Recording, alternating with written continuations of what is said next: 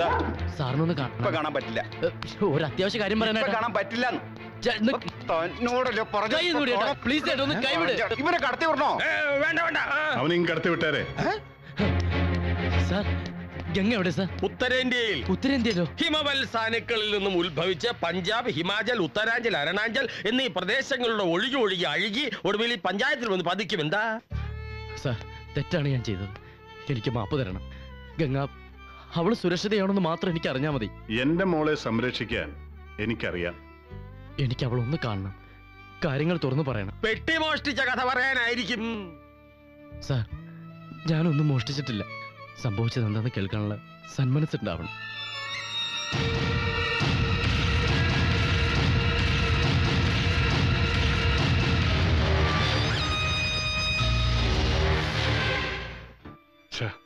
നിന്നെ ഞാൻ വല്ലാതെ തെറ്റിദ്ധരിച്ചു.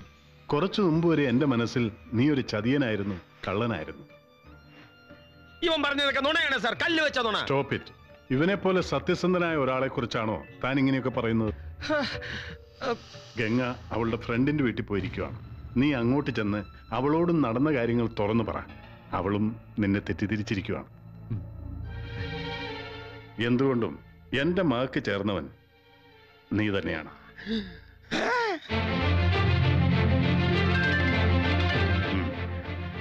നിൽക്ക്. രാഘവേന്ദ്ര സേട്ടുവിന്റെ മരുമകനാകാൻ പോകുന്ന നീ ഈ ഡ്രസ് ഇട്ടുകൊണ്ടാണ് അങ്ങോട്ട് പോകാൻ പോകുന്നത്. പരമാനന്ദം. എടോ പരമാനന്ദം. സാർ. ഇവൻ ഇവിടെ കിട്ടാവുന്നതിൽ ഏറ്റവും നല്ല ഡ്രസ്സ് തന്നെ വാങ്ങിച്ചുകൂട്. പോകുന്നത് നമ്മുടെ പുതിയ കാറിൽ തന്നെ ആയിക്കോട്ടെ. ഉം? ആ.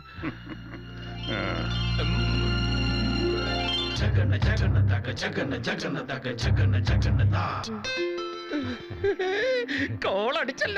ഉമ്മ. അടിച്ചല്ലോ മരുമകൻ.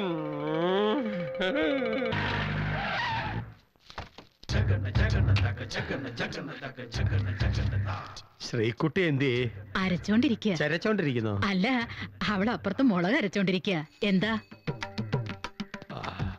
അയ്യോയ്യോയ്യോ മോൾ എന്തിനാ ഇങ്ങനെ പ്രാകൃതമായ രീതിയിൽ കഷ്ടപ്പെടുന്നത് അങ്കിളിനോട് പറഞ്ഞിരുന്നു ഒരു ഗ്രൈൻഡർ വാങ്ങി തരില്ലായിരുന്നോ? ഒരിക്കൽ ഞാനിത് ഊരിയെടുത്തതാണ്. പിന്നീട് ആലോചിച്ചപ്പോഴാണ് എനിക്ക് മനസ്സിലായത്. ഇത് മോളുടെ വിരലിൽ കിടക്കുന്നതാണ് അതിന്റെ ശരിയെന്ന്. കരുണ എനിക്ക് വീണ്ടും വീണ്ടും വിചാരമുണ്ടായി. എന്റെ മോനും ഇവളും തമ്മിലുള്ള കല്യാണം പറഞ്ഞതുപോലെ നടത്തണം. തന്നെ അങ്ങനെ വിശ്വസിക്കും. ഇനി ഇത് ഊരിക്കൊണ്ട് പോയില്ലെന്ന് എന്താ ഉറപ്പ്? ഒരു ദുർബല നിമിഷത്തിൽ അങ്ങനെ പറ്റി. വേണേ ആരും കേൾക്കാതെ രണ്ട് പുളിച്ച തെറി വിളിച്ചു. അല്ലേ മറ്റാരും കാണാതെ കരണക്കുറ്റിക്ക് രണ്ട് ചളക്ക് വിട്ടോ.